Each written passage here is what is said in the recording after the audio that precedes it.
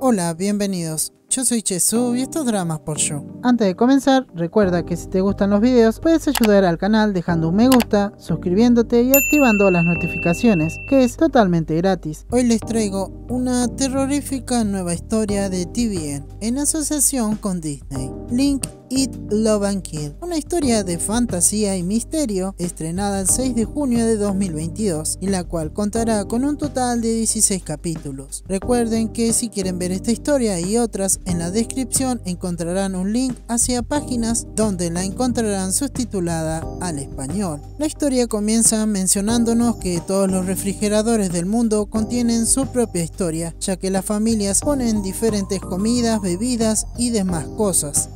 Después vemos que un brazo sale de un refrigerador que está en la calle. Luego de esta pequeña intro algo extraña que más tarde tendrá sentido, ahora sí veremos la historia comenzar, presentándonos al chef Eun un cocinero muy famoso que está pasando por mucho últimamente, ya que llora en momentos donde no debería y sonríe en otros que tampoco debería. Básicamente está lleno de sentimientos que ni él puede explicar. Todo se debe a un sexto sentido que según él solo los tienen los gemelos. Es aquí cuando vemos el pasado del chef, el cual cuando era pequeño por jugar con sus amigos descuidó a su hermana gemela y ella desapareció. Nunca encontraron su cuerpo, pero él sabe que su hermana está muerta porque en ese tiempo sintió que el corazón de su gemela dejó de palpitar. Ahora en el presente, él volvió a tener la misma sensación que tenía con su hermana cuando era pequeño. Esto provoca una cierta confusión en la mente del joven chef. Caminando por la calle, él se encuentra con quien será su interés amoroso, la joven No Dahyun, la cual estaba corriendo por la calle y se topa con el joven chef. Él sabe que es ella la persona que provoca algo en él, pero falta todavía para que tengan un encuentro. Ahora conocemos la vida de Dagion, quien resulta ser un completo desastre. Está a punto de ser echada de su casa, abandonó un buen trabajo y ahora vive con lo justo. Para sumarle algo, le mienta a su madre diciéndole que está bien económicamente. Es por esto que ella estaba corriendo ya que tenía que llegar antes de que su madre aparezca en su casa y encuentre todo lo que la delate. La visita de su madre solo sirve para ver que ellas no se llevan bien y cuando puede se la saca de encima. Es más, le da dinero para que se tome un taxi. Después de esto vemos que un gran evento gastronómico se celebra en la ciudad, por ende el chef se presentará con sus famosos platillos.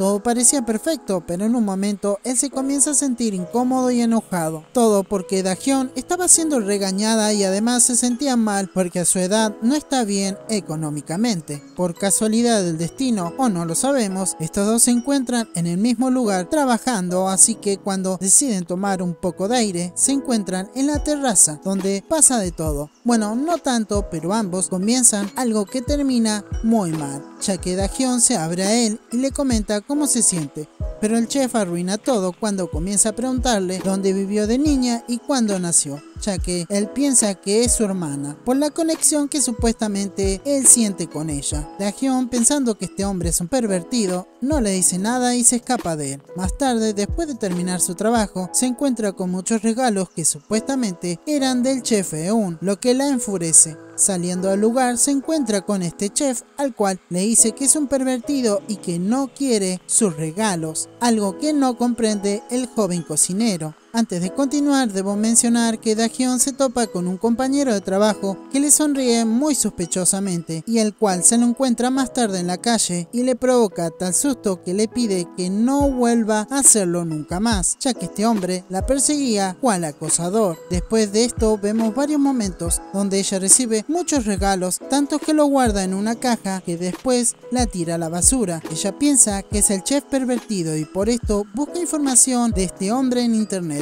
donde se encuentra con muchos casos donde lo tratan de loco al joven cocinero. En otra parte, él se encontraba en un lugar donde reconstruyen el rostro de su hermana, pero con su edad actual. Después de esto, él recibe una gran propuesta de uno de sus compañeros, o sea, abrir un restaurante por su cuenta, algo que él decide aceptar y cuando debe señalar un barrio en un mapa decide su antiguo barrio, donde desapareció su hermana. Por otro lado, vemos que un nuevo oficial llega al pueblo, el cual resulta ser el ex de la única mujer policía de la comisaría. Estos dos no intercambian palabras delante de sus compañeros, pero todos se percatan que hay algo entre ellos dos. Cuando están solos, él quiere hablar casualmente con ella, pero esta mujer no se lo permite y le ordena que la trate como su superior. Después vemos que pasa de todo en el barrio, ya que el chef llega al lugar donde abrirá su restaurante, un lugar que no pinta nada bueno, pero no es lo importante sino lo que pasa a continuación, ya que estaba discutiendo con su madre en una tienda que está al frente del restaurante del chef. Es aquí donde estos dos se encuentran y ella le dice pervertido delante de todos los vecinos, lo que lo deja muy mal parado.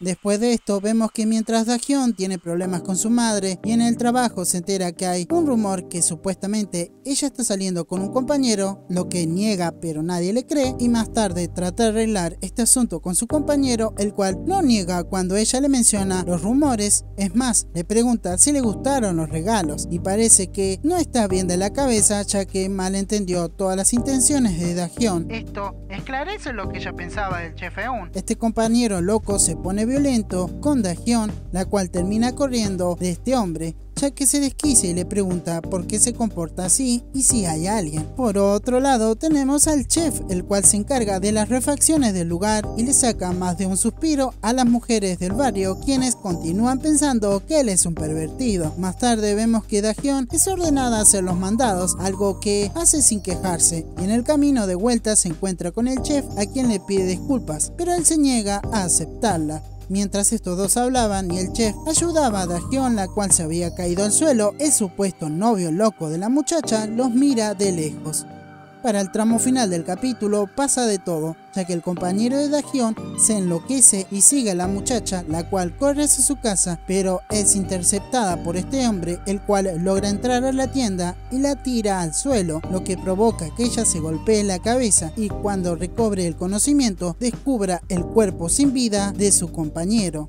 Nada tiene sentido y ella se quiere entregar a la policía, pero no lo hace y en su lugar ve como su madre y abuela se encargan de sacar el cuerpo y limpiar la escena del crimen. El capítulo finaliza con el chef aún sintiendo el miedo y nerviosismo de Dahyun, la cual se sorprende de cómo manejan la situación su madre y abuela, aunque no es lo último que vemos, sino que el chef con su compañero guardan el refrigerador que estaba en la calle que al principio del capítulo. Esto pone aún más nerviosa a Dahyun, la cual sabe que su madre y abuela metieron el cuerpo de su compañero en ese refrigerador, que ahora está dentro del restaurante del chef. Bueno, un capítulo bastante tenebroso, muy interesante, tiene un muy buen ritmo, me encantó desde el principio. Aunque bueno, tengo un favoritismo con este drama ya que la pareja protagonista principal de esta historia son dos actores me encantan muchísimo, tanto ella como él. Si bien vi más dramas de ella, la verdad que lo esperaba un montón y la verdad que no me defraudó. Por favor, mírense este primer capítulo. Recuerden que mañana se estrena el segundo porque va a estar muy interesante y chistoso. No quiero hacer más largo este video, así que... Si les gustó, dejen un like, suscríbanse que me ayuda un montón y nos vemos en un próximo resumen.